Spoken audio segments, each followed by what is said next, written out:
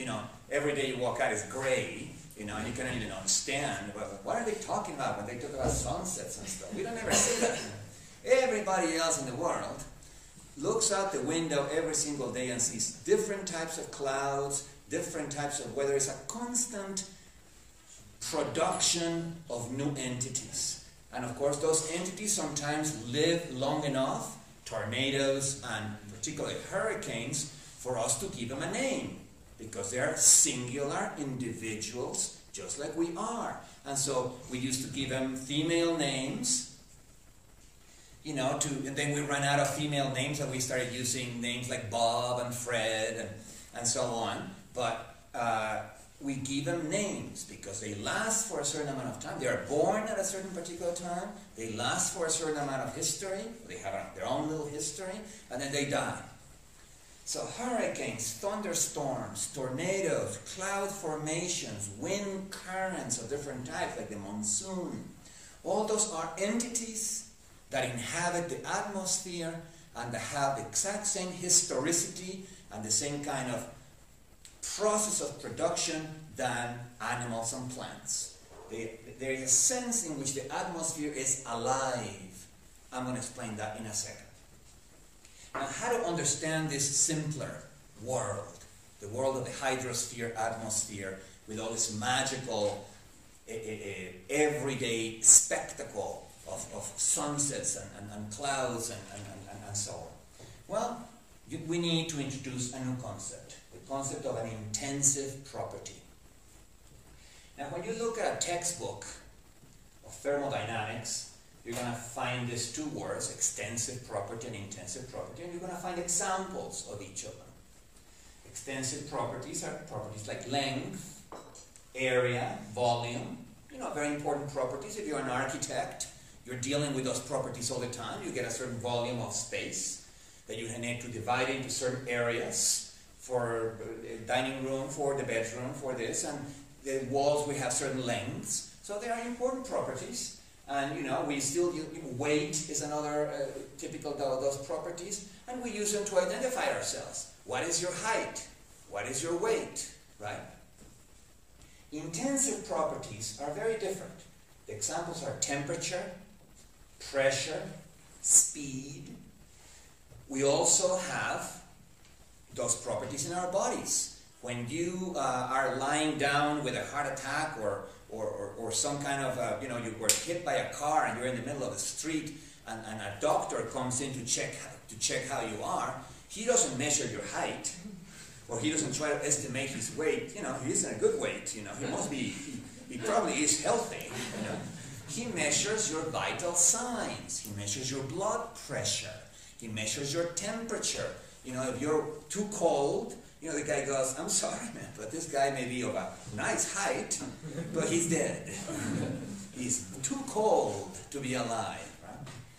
And so those, those are, you know, and of course speed, not necessarily only in the sense of the speed of a car, you know, which is also a kind of a, a, a, something that you can experience phenomenologically, but the rates at which your uh, your processes occur. The, speed with which your metabolism occurs. There are certain rates that last 24 hours, other rates that last one hour. Your entire body can be defined in terms of rapidities and slownesses. The rapidity or slowness with which a certain process happens. And so these are every bit as important to characterize entities as these are. Nevertheless, they are entirely different. The textbook, this is the way Deleuze defines it, but I'm going to get to this part in a second. The way the textbook defines it is this. He says, extensive properties are properties that are easily dividable or divisible. Imagine that you have a one meter long ruler made of wood or something like that, and you know it's one meter, and you break it into two halves. Well, you end up with two half meter rulers. Right? Length is dividable. This is what, this is what makes extensive properties useful for architects. Architects need to divide and subdivide a space into smaller areas for different rooms. And, and if they were not divisible, then you could not organize a space by subdivision. Intensive properties, on the other hand, are not divisible. Imagine that you have a gallon of water at 90 degrees temperature, 90 degrees Fahrenheit. Then you divide it into two. Gal eh, eh, eh, a gallon being an extensive property is divisible, so you end up with two half gallons. But those two half gallons are not at 45 degrees temperature each. They are at similar 90 degrees temperature each. You cannot divide temperature, you cannot divide speed. You can superimpose a grid of degrees, just like we do with a thermometer, with a thermometer, I'm sorry, or we can do with a speedometer, or we can do with a barometer, but that's an imposed grid that we humans imposed on it to measure the degrees. But they themselves are not divisible.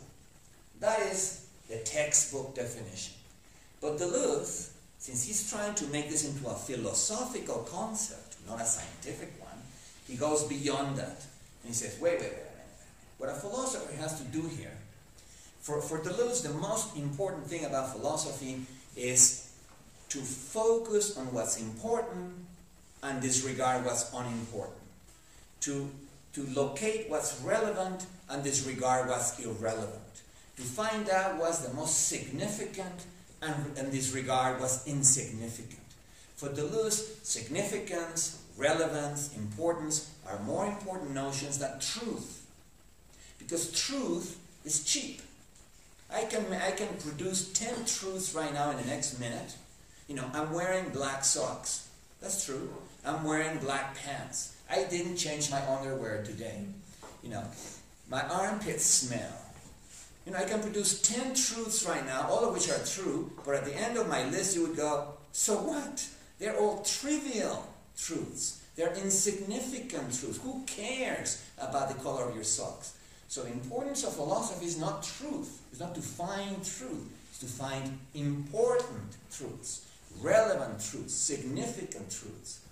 So Deleuze says, yes, this, this divisible versus non-divisible thing is a good way of distinguishing the, the, the two, but it is not what's the most important. This is what the most important. Let me just explain them one at a time.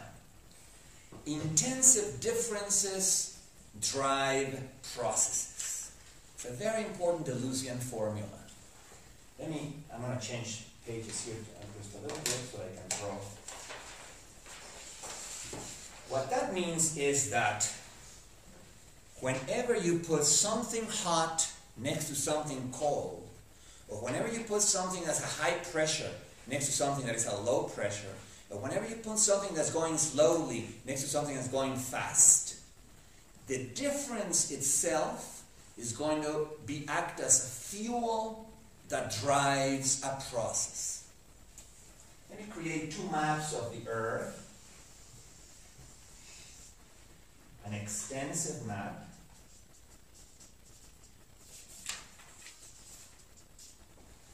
And an intensive map to drive this difference home.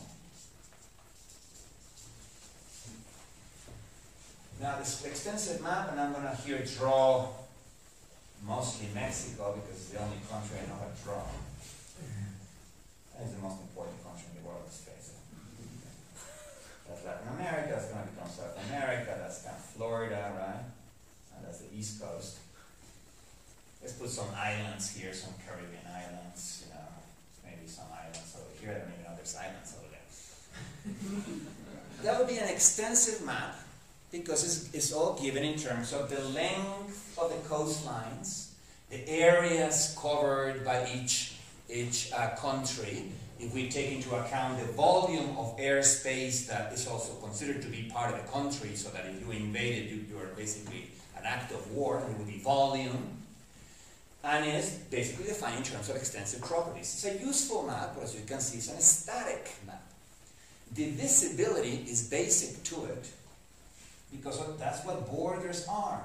That's the, that's the border of Mexico with the United States. If you could not divide those areas, you could not establish frontiers. So divisibility is important when you're dealing with extensive properties. An intensive map would be the same